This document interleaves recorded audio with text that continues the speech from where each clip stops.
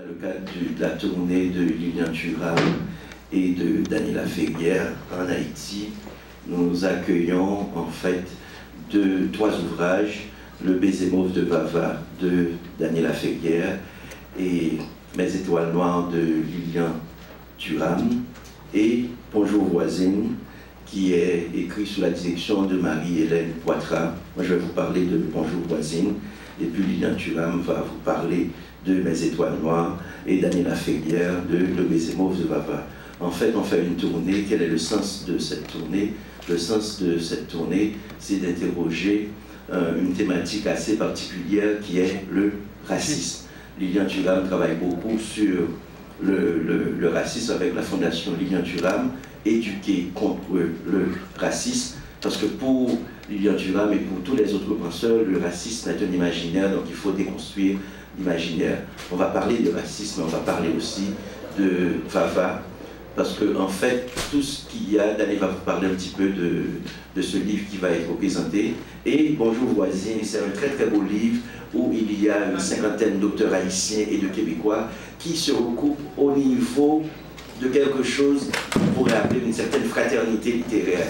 Parce que qu'est-ce qui est dit dans ce livre? Et il y a cette espèce d'altérité. On travaille beaucoup à mémoire d'en sur la question d'altérité, c'est-à-dire comment comprendre l'autre Comment découvrir l'autre sans dire qu'il est noir, qu'il est jaune, qu'il est blanc c'est-à-dire comment aller vers l'autre et comment poser les véritables questions. Et dans Bonjour voisine, il y a un ensemble de Québécois, pour eux, Haïti, c'était en fait la misère, c'était la pauvreté, c'était l'incapacité après 1804 d'avancer et qui ont mieux compris la complexité de la situation haïtienne. Il y a une situation quotidienne qui est une situation de précarité, de grande précarité, mais il y a une situation haïtienne qui est une situation, je ne dirais pas épique, je ne dirais pas de grande beauté, mais il y a une situation haïtienne qui amène à la réflexion. Et il y a un, auteur ici qui disait quelque chose d'intéressant, c'est un auteur québécois qui s'appelle Yvon Rivard,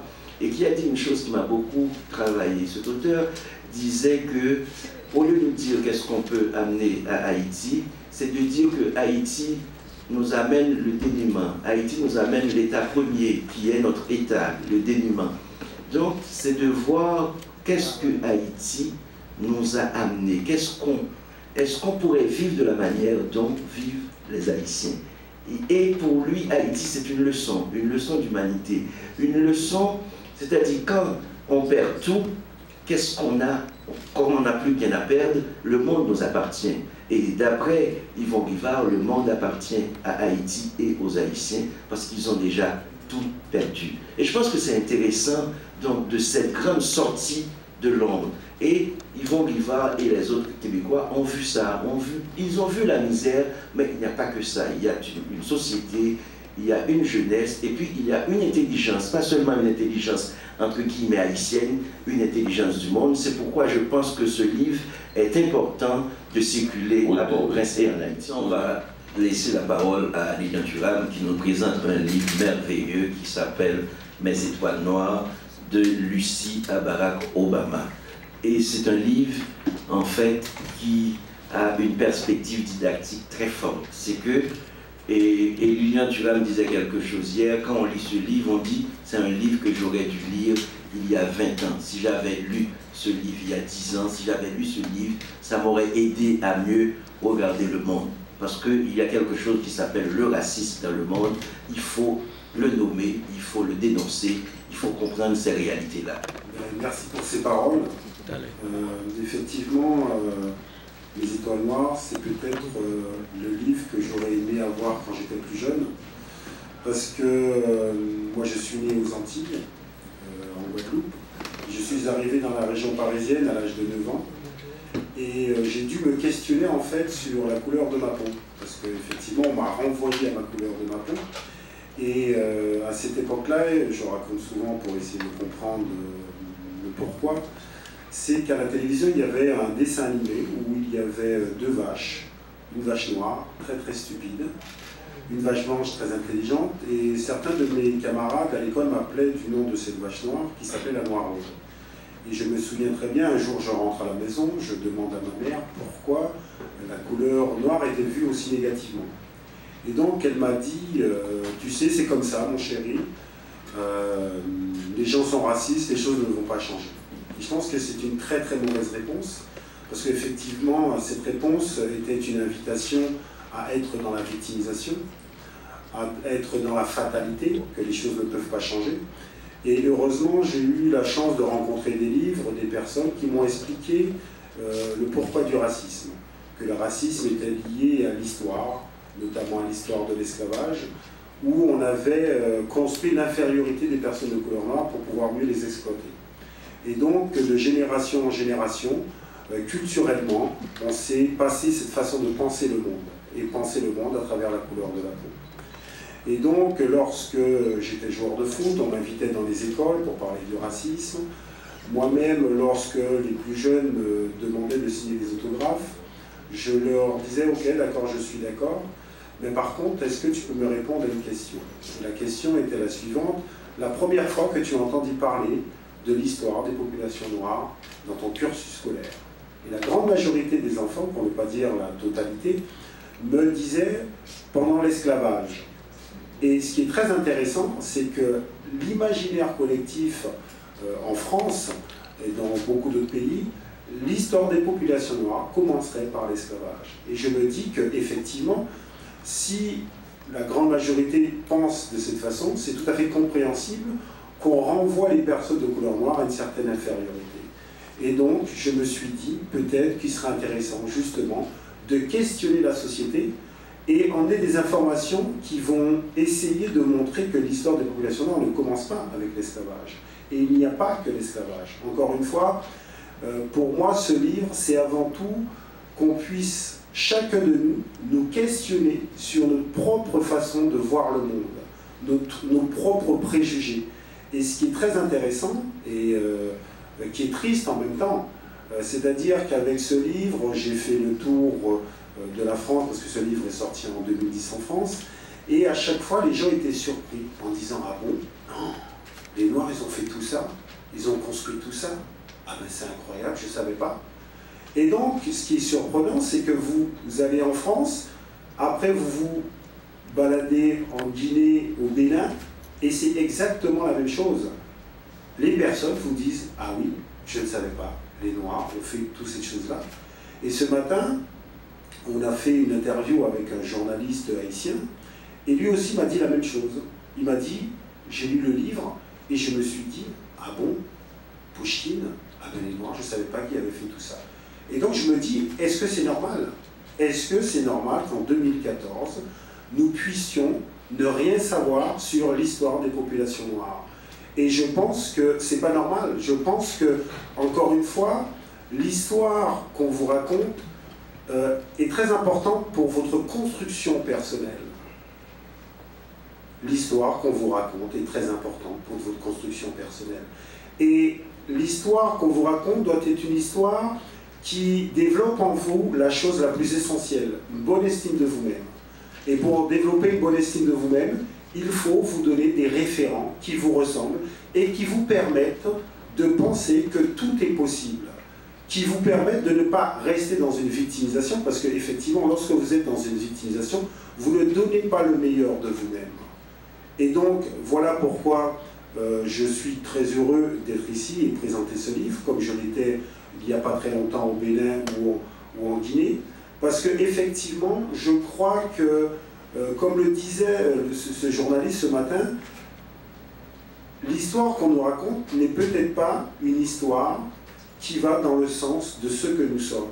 Et lui avait cette réflexion en disant, oui, mais c'est vrai que l'histoire a été écrite par les vainqueurs.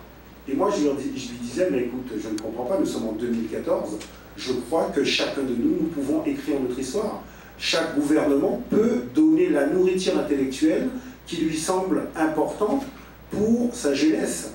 Et donc, encore une fois, prendre conscience que effectivement l'histoire qu'on nous raconte doit être enrichie par d'autres histoires et comprendre effectivement le racisme. Parce que le racisme, qu'est-ce que c'est? C'est avant tout une invention, une idéologie, une construction historique, une construction intellectuelle qui fait que pendant des siècles, on a expliqué qu'il y avait des personnes supérieures à d'autres. Et on a pris comme critère la couleur de la peau. C'est-à-dire que pendant très longtemps, même dans les, écoles, dans les livres scolaires, on expliquait qu'il y avait une prétendue race blanche supérieure aux autres, et les personnes de couleur noire étaient le chaînon manquant entre le singe et l'homme. Et donc je pense que c'est très important de comprendre cette histoire pour ne pas la reproduire. Parce que si on ne la comprend pas, on a tendance à reproduire les choses.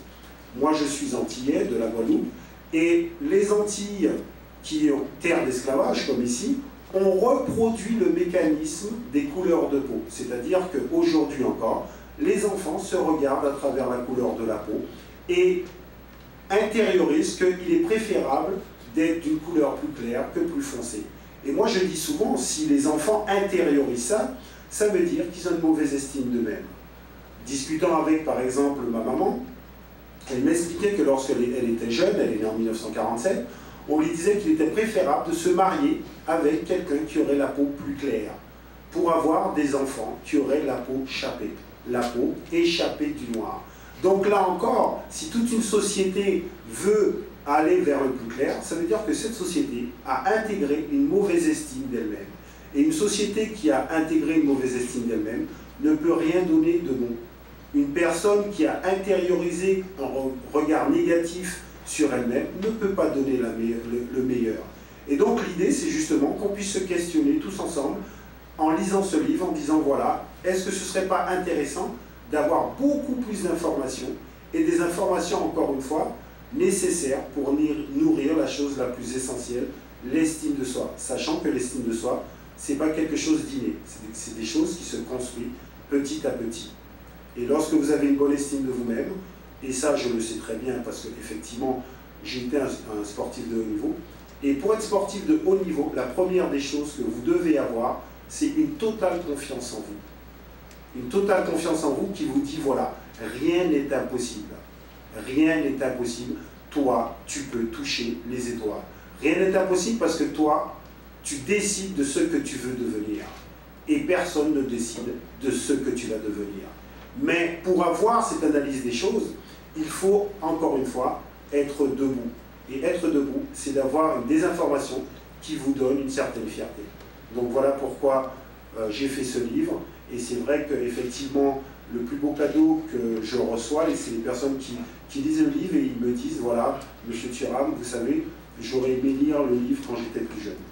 Donc euh, je vous invite à parcourir ce livre et voir si vous avez les mêmes réflexions après. Je suis venu présenter euh, une œuvre qui, qui, pourrait être le prolongement du livre de Lilian Thuram, Mes étoiles, et parce que précisément il s'agit d'une petite fille, Vava, qui est une étoile aussi, et qui, qui vit à Petit Gouave, et qui a illuminé mon enfance, et que 40 ans plus tard, ou même 50 ans plus tard, j'ai voulu euh, euh, la retrouver.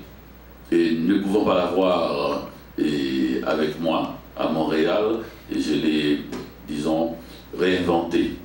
Et c'est une histoire intéressante puisque, quand j'ai dit prolongement de l'histoire de Lilian Thuram, puisque cette histoire, par exemple, ça c'est le premier Vava, je suis fou de Vava, et a été écrite, j'ai écrit le texte, l'illustrateur est un Québécois qui n'a jamais quitté son pays, jamais allé dans un pays du Sud, qui, vit à Sherbrooke, une, ville au Québec, et qui a imaginé ces couleurs, cette explosion de couleurs. Avant, il faisait juste des, des personnages très gris et avec de la neige derrière, pas pour mon livre.